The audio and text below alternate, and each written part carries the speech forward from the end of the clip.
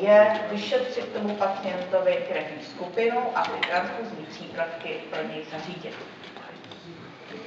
Eh, Už jste tady slyšeli o Začal jsem dávat v roce, tuším, 88 a od té doby pravidelně chodím už eh, v místě svého trvalého bydliště, respektive dojíždím na transfuzní stanici v Liberci. Eh, mm, Jsem motivován obyčejně lidským ušlechtilým cílem pomoci druhému blížnímu a přináší mi to velké uspokojení eh, v obecné rovině. Eh, Já už mám odběru 151, ale je nutno si uvědomit, že to je včetně plazmy, destiček a ostatních eh, krevních derivátů, které jsem tedy daroval.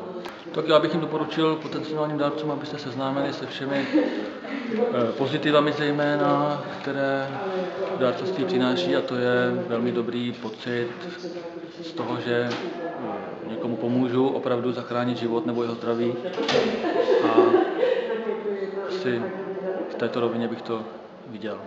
Až dospějeme do věku, kdy můžeme, tak asi ano. Že je to užitečná věc, že jo?